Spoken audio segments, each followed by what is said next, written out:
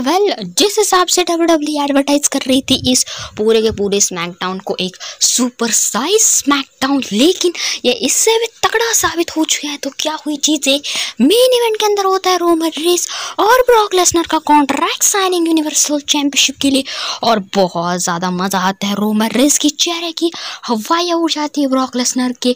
बोलने के बाद तो पूरे शो का रिव्यू करने वाले। तो वीडियो एकदम इंटरेस्टिंग होने वाली। वीडियो को लास्ट तक ज़रूर देखना और चैनल को सब्सक्राइब कर दीजिए। वीडियो को हम लोग जो है देर निकलते हैं। और आज के इस सुपर साइज़ स्मैकडाउन के में जो ओपनिंग है, वो दिखाई देती है रेडर और सुपरस्टार एच को द्वारा। एच कहते हैं कैसे हमारी राइवलरी सात साल पहले स्टार्ट हो गई थी। इसके अंदर हम एक दूसरे के पास फिर एक बार आए जब हम दोनों यूनिवर्सल चैम्पियनशिप के लिए गए, लेकिन किसके पास भी टाइटल नहीं आई।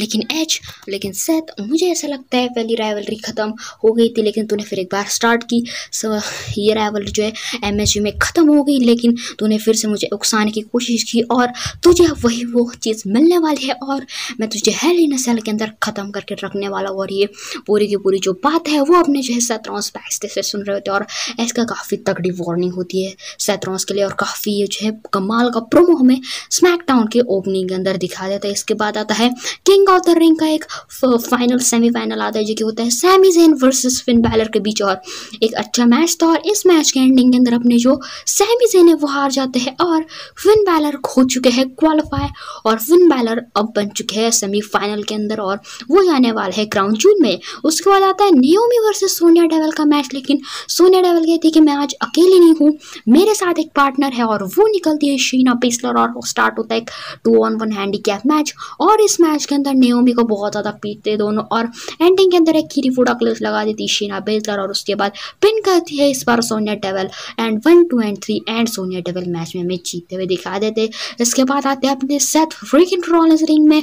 सेथ रॉलेंस एज के सारे सारे जवाब सवालों के जवाब देते हैं सत रोज बात करते हैं। एच के बारे में एच ने जो भी चीज़ें कही है स्टार्टिंग के अंदर, और मैं सत रोज भी यही बातें कह रहे हैं कि एच को जो है वो हराने वाले हैं क्राउन जूल के अंदर और ये जो इनका राइवलरी का फाइनल चैप्टर होगा तो इसके अंदर सतरौस जीतने वाले तो ये फ़िलहाल कुछ बड़े इंटरेस्टिंग सी बात है। मैं सतरौस कहते हुए दिखा देते और सतरौस का भी काफ़ी अच्छा प्रोमो था और प्रोमो के अंदर जो है वी वॉन्ट एच के भी चैंट्स लग रहे थे, लेकिन स्टिल एच यहाँ पर आते नहीं, लेकिन ये दोनों के प्रोमोज आज इनके मैच के लिए बहुत ज़्यादा हाइप करने के लिए थे और काफ़ी कमाल के दोनों ने ये प्रोमोज हमें डिलीवर भी किए पूरे के पूरे शो के दौरान।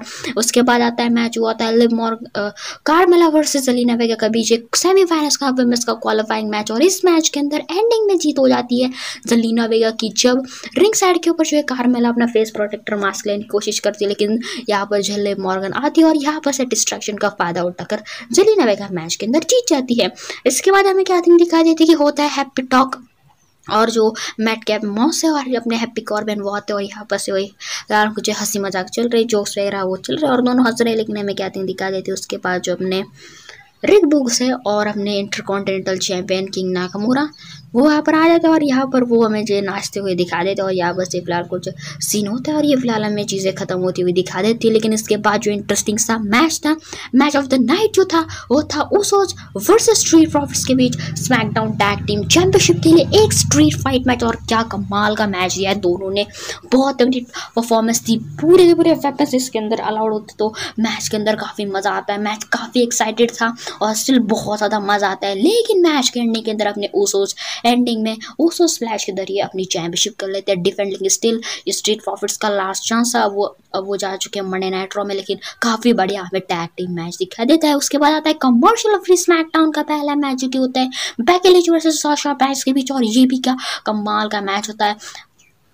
इसके अंदर आपको जो है एड्स बिल्कुल भी नहीं दिखाई देंगे, जिसकी वजह से मैच के अंदर देखने में काफ़ी ज़्यादा मज़ा आता है। लेकिन का ब्लेयर भी रिंग साइड पर होती है और इसका फ़ायदा होता है साशा बैंक्स को और यहाँ पर से डिस्ट्रैक्शन करती है बैक लिंच के लिए और इसका फ़ायदा साशा बैंक्स उठा देती है और साशा बैंक्स करती है एक बैंक स्टेटमेंट इसके बाद हो जाती है बैक लिंच की पिन और इस मैच के अंदर हमें जो एंडिंग है, उसके अंदर बैक लिंच हारते हुए दिखा देते और ये बड़ा ही क्राउन जूल से पहले डब्ल्यू ने शॉक पुल किया और काफ़ी ये इंटरेस्टिंग चीज़ थी। तो वेल देखते क्या होता है। लेकिन ये फ़िलहाल कुछ हमें चीज़ें दिखाई देती है। डब्ल्यू के स्मैकडाउन के शो के अंदर, लेकिन जो मेन इवेंट था शो का मेन इवेंट था, वो होता है अपने Roman Reigns and Brock Lesnar का कॉन्ट्रैक्ट साइनिंग रोमर रेस आते हैं। उसके बाद रिंग के अंदर एंटर होते हैं, लेकिन उसके बाद हमें क्या थिंग दिखाई देती है? एडम पीर्स वगैरह वहाँ पर होते हैं। ब्रॉक लेसनर का थीम सॉन्ग प्ले होता है। ब्रॉक लेसनर आते हैं रोमर कुर्सी पर बैठे हुए होते हैं। ब्रॉक लेसनर आने के साथ लेकिन रोमरेस उठते हैं। ब्रॉक लेसनर रिंग में भी जाते हैं और ब्रॉक लेसनर एकदम अपने जो है मतलब एकदम ऐसे ऐसे बड़े स्टार की तरह आते हैं रिंग में और यहाँ पर से वो जो है कुर्सी के ऊपर बैठ जाते दोनों पैर टेबल पर रखते और यहाँ पर से रोमरेस बातें करते हैं कि देखो, वो कॉन्ट्रैक्ट साइन तो हो जाता है और यहाँ पर रोमरेस सारी चीज़ों को एड्रेस करते हैं कि कैसे ब्रॉक लेसनर जो है जो है तुम वापस आए हो तो उसके बाद ब्रॉक लेसनर सिंपली क्या करते हैं? कॉन्ट्रैक्ट लेते हैं और पूरे के पूरे पेपर पे ही साइन कर लेते हैं, जितना भी वो पेपर होता है उस पर। और उसके बाद रोमरेस कहते हैं, अरे देखो, तुम तो कितने बुद्ध हो, तुमने तो कॉन्ट्रैक्ट पढ़ा भी नहीं, देखा भी नहीं। रोमरेस ही ऐसे कहते हैं और इसके ऊपर सिर्फ़ ब्रॉक लेसनर इतनी चीज़ें कहती हैं। मुझे तो कॉन्ट्रैक्ट पढ़ने की कोई ज़रूरत ही नहीं है, क्योंकि मेरे एडवोकेट ने ये मुझे कॉन्ट्रैक्ट सुबह ही बताया है, जो कि है पॉल हेमन ये चीज़ सुनते हैं रोमरेस और रोमरेस का मुँह जो है लटक जाता है पूरी तरीके से, और ब्रॉक लेसनर वापस से हँसते हुए निकल जाते हैं, और पॉल हेमन का भी चेहरा वो देखने लायक था, और यहाँ से काफ़ी इंटरेस्टिंग सा सेगमेंट था, और क्राउन जूस से पहले फाइनल शो में काफ़ी बढ़िया तरीके से बवाल मच चुका है तो ये काफ़ी इंटरेस्टिंग सी चीज़ थी, और क्राउन जूल के लिए बहुत ज़्यादा एक्साइटमेंट है। तो भाई आप कितने एक्साइटेड हो? क्राउन जूल पे के लिए लेकिन गाइस आज की हमारी ये वाली वीडियो बस यही तक थी वीडियो अगर पसंद आई होगी तो वीडियो को आप लोग जो है लाइक कर सकते हो। कर सकते हैं आप लोग चाहिए चैनल को भी सब्सक्राइब नोटिफिकेशन बेल कौन था केस आपको हमारी पहली नोटिफिकेशन मिलती रही। आज की वीडियो बस इतनी आज के लिए बस इतना ही। धन्यवाद।